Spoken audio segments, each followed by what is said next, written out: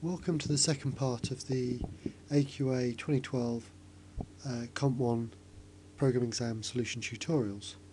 Um, but this is still validating the get menu choice uh, function and this time we're going to do a type check so basically stop the program crashing. At the moment if I type Bob into the menu choice um, it will just crash, it will just fall over because ultimately it needs to convert it to an integer. So uh, we're still going to use a do loop, we're still going to use a boolean to exit the loop, but we're going to use a try catch statement instead. So let's cut straight to the code and um, have a look at that. Um, I'm not going to build on top of the previous validation. I'm going to do a clean validation, then we'll look how to stick them both together afterwards. So the first thing I need to do is give myself some space, and let's stick in um, the, a boolean and a do loop with the exit when the we're saying the boolean is true and then we'll just control that boolean as part of the, the validation. Uh, the next thing we need to do is actually put in a try catch statement and the format of the try catch statement is try and then catch and basically it's just a posh if statement it's if the program crashes um, do this thing within the catch so in other words try and do everything in the first bit if it's fine, great. If it crashes, then stop running it and do whatever's in the in the second bit, the catch part of the statement. Uh, that's the rough idea. If you don't know how, if you don't know what try catch is or how it works, you need to look that up. Um, so I've obviously placed my input within the try section of the try catch.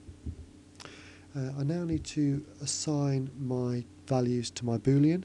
So obviously if everything's fine I want my valid choice to be true and if it's not fine I want valid choice, uh, valid choice to be false so that it would go again and ask for the input again if it if it crashed. And just as before I suppose I better put in a message as well so let's do that. So as you can see it's exactly the same format as the range check but now um, we're using a try catch instead of the if statement.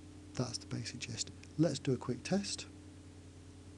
So a sensible test would be uh, any character that isn't an integer. So let's type in A. And the validation's worked. Uh, let's type in a bigger string and the validation has worked. Let's type in a correct number first. So let's do 1 that's still fine. Right, let's go back to the main menu.